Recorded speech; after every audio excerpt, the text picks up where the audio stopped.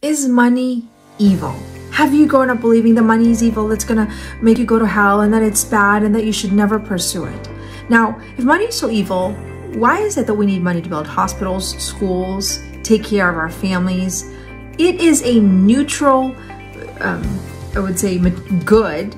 Is is a neutral that we can use as a force for good or for evil.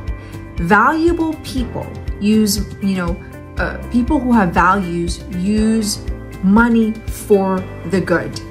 When people make you feel bad about money being evil, ask them Is it evil to use money to be able to contribute good in the world? And the answer, logical answer, is we need money to defund evil in the world so we can promote what is good. So it's not money that is evil, it's love of money. As a matter of fact, it is a responsibility to make a lot of money so we actually can defund the evil in the world.